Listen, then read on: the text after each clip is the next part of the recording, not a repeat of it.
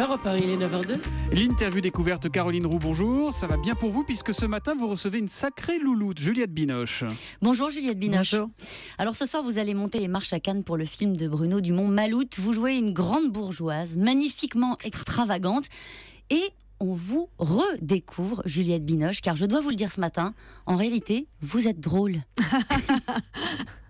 Oui, c'est ce que c'est ma réputation dans, dans la famille. hein. Je vous le dis tout de suite. C'est vrai? Oui, plutôt. Oui. Parce que c'est pas ce à quoi vous nous aviez habitués au fond dans vos rôles au cinéma. La dernière fois que vous avez tourné pour Bruno Dumont, c'était Camille Claudel 1915. C'était pas franchement burlesque. Non, c'est sûr. Mais vous savez que quand on tournait, je- quand ça nous arrivait de dîner régulièrement ensemble avec Bruno, et je lui dis, il faut qu'on fasse une comédie, il faut qu'on fasse une comédie. J'arrêtais pas de lui répéter parce qu'on était au fond du, du gouffre de l'abandon avec Camille Claudel, qui a quand même eu un destin euh, assez terrible.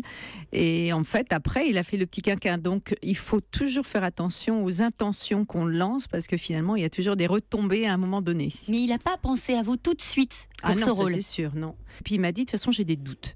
Donc euh, j'étais assez Il avait des doutes. Pourquoi sur moi euh, pour, que, pour me voir dans, dans ce rôle-là, qui est quand même une femme extravagante et, et dans le burlesque, hein, parce qu'on est, on est même plus dans la comédie, on est dans le burlesque. Et, euh, et ça m'a un peu vexée, mais j'ai pas, je l'ai pas contrecarré parce que je me suis dit, c'est même pas la peine.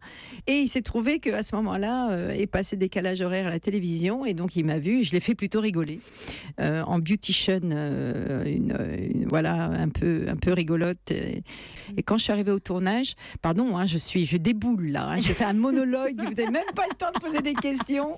Vous êtes drôle et bavarde. Et donc, euh, je suis arrivée sur le tournage et en fait, on n'avait rien répété ensemble, mais il était beaucoup plus détendu que quand on s'est vu euh, au, au maquillage, coiffure ou, euh, ou essai euh, de costume. Parce qu'il il me dit, mais vas-y, va, montre-moi comment est-ce que tu vas faire, comment tu vas jouer. Comme j'avais pas le temps de répéter du tout, je, je, je- mais je, j'en sais rien, moi, je suis incapable de te dire. Voilà. Alors ce film, il n'est pas classique, on va dire. C'est l'histoire d'une enquête policière sur fond d'histoire d'amour ambigu qui met en relation, on va dire, des bourgeois euh, fantasques mais un peu coincés et des pêcheurs dans la France du Nord dans les années 20.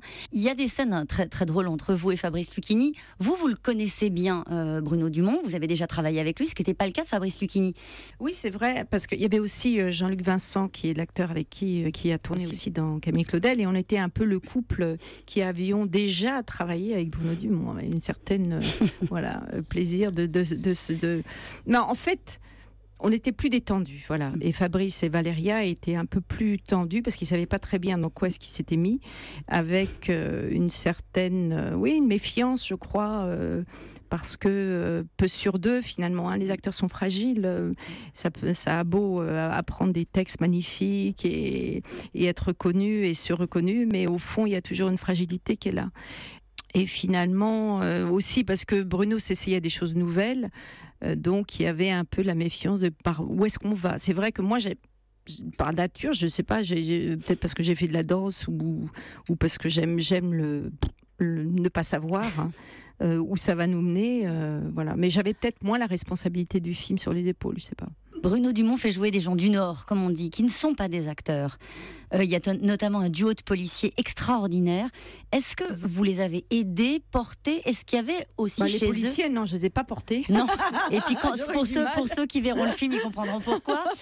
Euh, Est-ce qu'il a fallu les, les accompagner dans le tournage Ah oui, mais euh, Bruno Dumont sait très bien s'entourer et il a des personnes formidables qui cherchent les, les acteurs, les bonnes têtes à filmer et, et il s'occupe vraiment d'eux, ils sont entourés parce que d'abord ce sont pas des acteurs donc il faut vraiment euh, les, les accompagner.